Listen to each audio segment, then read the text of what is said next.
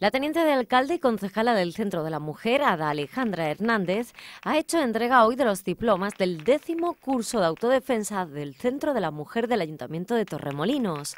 El buen ambiente y la satisfacción general del colectivo femenino por esta iniciativa municipal ha marcado el desarrollo de este acto, en el que ha quedado patente una vez más la excelente acogida de las mujeres de Torremolinos a cuantas actividades específicamente creadas para este colectivo programa el ayuntamiento. Sí, la verdad es que como siempre están muy demandados, hemos entregado los diplomas correspondientes al décimo curso de autodefensa eh, celebrado de manera gratuita por el Centro de la Mujer y bueno, tan demandados que el próximo día 31 comenzamos uno nuevo, pero esta vez en horario de mañana.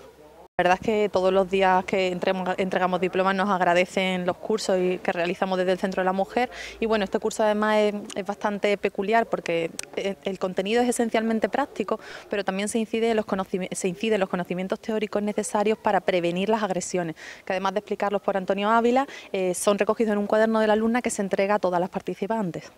La teniente de alcalde y concejala invitaba así a las mujeres del municipio a participar en actividades y cursos como el de autodefensa. Por supuesto, tanto los cursos de autodefensa como los cursos de informática, que bueno, están muy demandados, hay que venir el primer día a primera hora, animo a todas a que los realicen porque son muy interesantes. Son ya 10 las ediciones de estos cursos que en cada una de las convocatorias han tenido una excelente respuesta del colectivo femenino del municipio. El próximo curso será el undécimo y comenzará el próximo 31 de